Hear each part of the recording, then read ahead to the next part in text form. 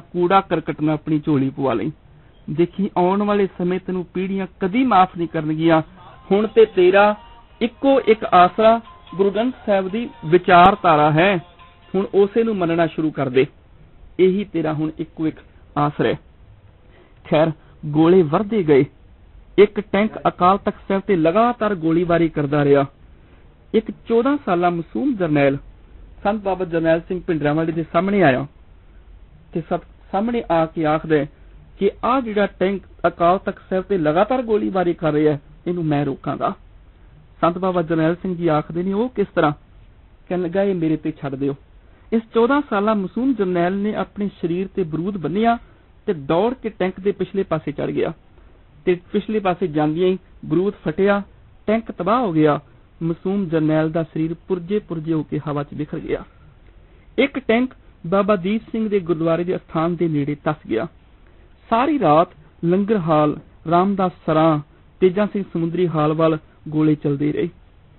ਇਸੇ ਸਮੇਂ ਜਨਰਲ ਸੁਬੇਗ ਸਿੰਘ ਜੀ ਹੋਰਾਂ ਨੇ anti tank rocket propelled gun ਦੇ ਨਾਲ ਟੈਂਕਾਂ ਦੀ ਆਰਪੀਸੀ ਜਿਹੜੀ ਤਬਾਹ ਕਰਨੀ ਸ਼ੁਰੂ ਕਰ ਦਿੱਤੀ। ਰਾਮਦਾਸ ਸਰਾਂ ਦੇ ਪਿਛਲੇ ਪਾਸਿਓਂ 2000 ਸਪੈਸ਼ਲ ਕਮਾਂਡੋ ਫੋਰਸ ਦਸਤਾ ਆਇਆ।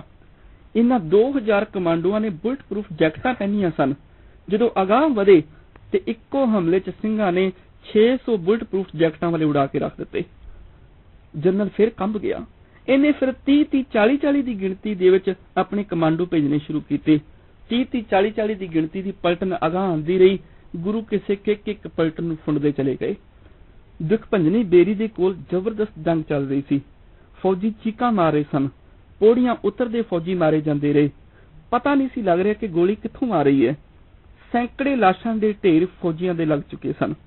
ਤੇ ਇਸ ਤੋਂ ਥੋੜਾ ਅੱਗੇ ਸਰਦਾਰ ਜੱਸਾ ਸਿੰਘ ਜੀ ਰਾਮਗੜ੍ਹ ਉਹਨਾਂ ਦੇ ਬੁੰਗੇ ਦੇ ਤਹਿਖਾਨੇ ਦੇ ਵਿੱਚੋਂ ਭਾਰੀ ਫਾਇਰਿੰਗ ਹੋ ਰਹੀ ਸੀ। ਤਕਰੀਬਨ 3000 ਫੌਜੀਆਂ ਦੀਆਂ ਲਾਸ਼ਾਂ ਦੇ ਢੇਰ ਉੱਥੇ ਲਗਾ ਦਿੱਤੇ ਗਏ ਤੇ ਜਿਹੜਾ ਇੱਥੋਂ ਬਚ ਕੇ ਅੱਗੇ ਜਾਂਦਾ, ਉਹ ਪ੍ਰਕਰਮਾਂ ਵਿੱਚ ਮਾਰਿਆ ਜਾਂਦਾ।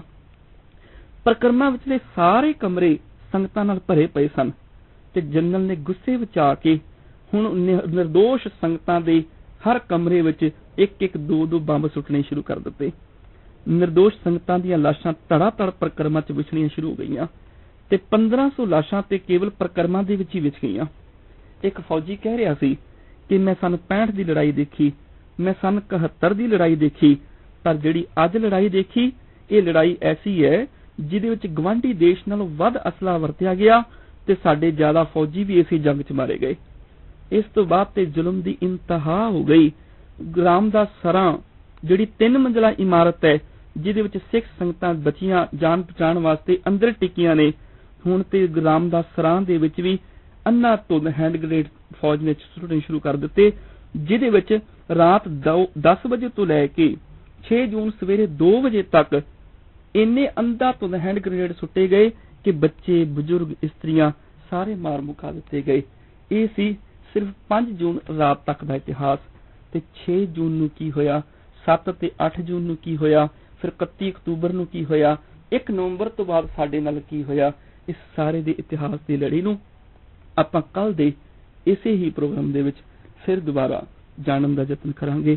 ਸਤਿਗੁਰੂ, ਕਿਰਪਾ ਕਰਨ ਅਸੀਂ ਆਪਣੇ ਗੌਰਵਮਈ ਇਤਿਹਾਸ ਦੇ ਕੋਲੋਂ ਕੁਝ ਸਿੱਖ ਸਕੀਏ ਤੇ ਨਾਲ ਨਾਲ ਗੁਰੂ ਗ੍ਰੰਥ ਸਾਹਿਬ ਜੀ ਦੀ ਵਿਚਾਰਧਾਰਾ ਅਪਣਾ ਕੇ ਅਸੀਂ ਜਿੱਥੇ ਆਪਣੀ ਆਤਮਾ ਨੂੰ ਬਲਵਾਨ ਕਰਨਾ ਹੈ, ਉੱਥੇ ਨਾਲ ਸਰੀਰ ਨੂੰ ਬਲਵਾਨ ਕਰਕੇ ਇਹਨਾਂ ਜ਼ਾਲਮਾਂ ਦਾ ਮੂੰਹ ਪਵਾਉਣਾ ਹੈ ਤੇ ਇਹਦੇ ਤੋਂ ਇਲਾਵਾ ਆਪਣੇ ਹੱਕਾਂ ਦੀ ਮੰਗ, ਮੰਗਦੇ ਰਹਿਣਾ ਇਹੀ ਸਿੱਖ ਦਾ ਫਰਜ਼ ਹੈ।